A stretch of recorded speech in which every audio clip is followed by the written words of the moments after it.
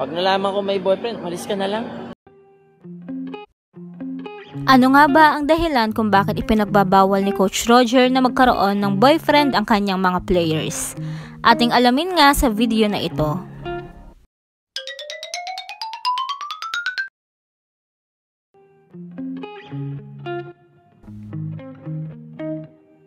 Naibahagi nga ni Coach Roger na ipinagbawal nito sa San Sebastian pati sa Ateneo na magkaroon ng boyfriend sa kanyang mga players.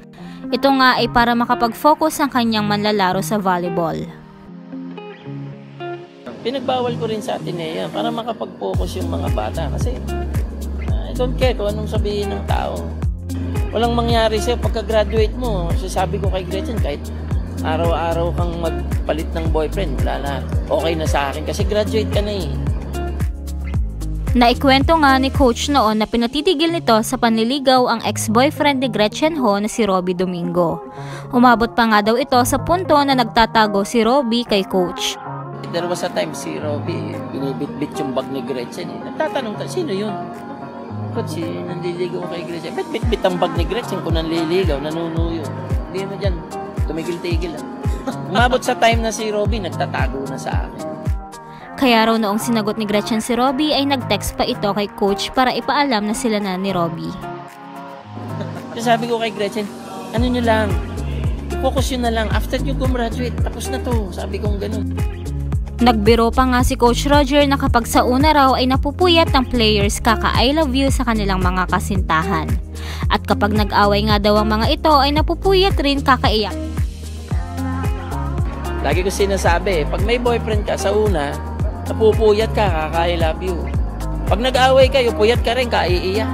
Eh, pag kinabukasan may ensayo ka, di apektado yung team. Eskwela kasi ang layo ng utak. Talagang ano, talagang ang hirap. Meron nga daw naging player si coach na hindi niya nagamit dahil nabuntis ito kaya laking panghihinayang ni coach dahil ang player na yon ang pinakamalaki sa team. Sayang nga raw dahil sagot pa ng school ang pag-aaral ng player ngunit pagdating nga raw sa laro ay hindi mapakinabangan. Katulad niya no, na-disgrasya yung isang player ko na dapat naglalaro siya ngayon. Ay, ang laki nun, yun ang pinakamalaki kong player. Hindi ko napakinabangan.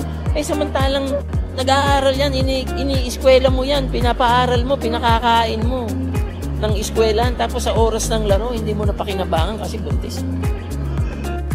Ang puti kong ang player, dinadampot lang eh. Wala ka lang ang player, natsambahan mo na nga lang isang malaki. Binigyan mo ng exposure, iba pa yung naging, naging utak. Mahirap talaga.